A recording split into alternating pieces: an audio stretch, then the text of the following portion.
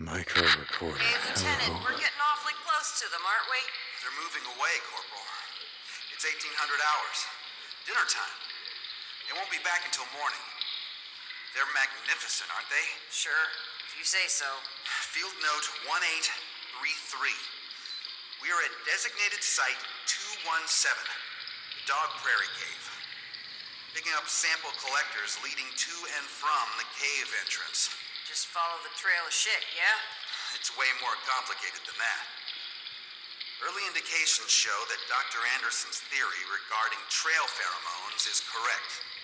Homo sapiens mutans turba, or horde as the locals prefer, has evolved exocrine glands that produce a semi-viscous secretion transporting as yet unknown pheromones. Gotta say, Doc, you sound pretty excited. You don't get it.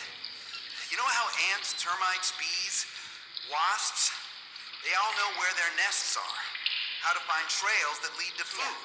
Sure. How do they do it? Do you see little road signs everywhere? No, of course not. They do it through pheromones, Corporal. The same chemical processes that tell them not to tear each other apart. So they shit everywhere and follow the smell. Why do I bother? Come on, let's get these back to the lab.